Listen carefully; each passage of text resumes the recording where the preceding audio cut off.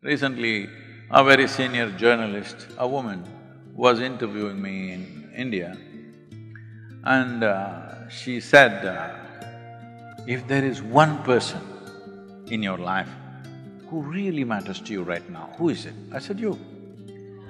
She said, huh? When I'm with you, I'm hundred percent with you. I'm not thinking of somebody else and being with you. You may be just a journalist, maybe you're just doing a job, maybe you're just doing it to make a living or maybe it's a little bit of a passion. I'm not like that. I have no job, I have chosen to remain unemployed. This moment when I'm with you, I'm one hundred percent, I'm looking anywhere? No, I'm totally with you. You are the most important person in my life right now. And that's how I live.